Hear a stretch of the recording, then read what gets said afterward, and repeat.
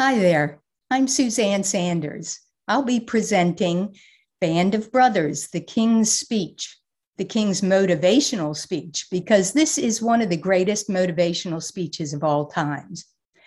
King Henry V aims to encourage his soldiers leading up to their miraculous victory at Agincourt. We few, we happy few, we band of brothers. For he today that sheds his blood with me shall be my brother.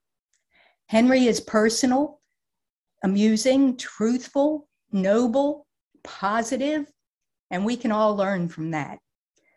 By taking a close look at the speech and how it is delivered, you'll get useful tips on making your own messages persuasive and powerful.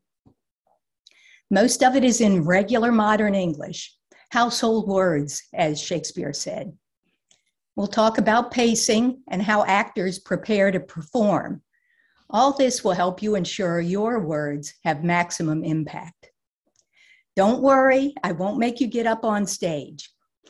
But everyone has to be a motivator now and again, whether it's a talk for a big conference or just talking your kids into finishing their homework. Why not make your words memorable? This speech is an absolute beauty taking it down to nuts and bolts uncovers the artistry it took to put it together. It might even coax you to want to hear the rest of the play. Bonus.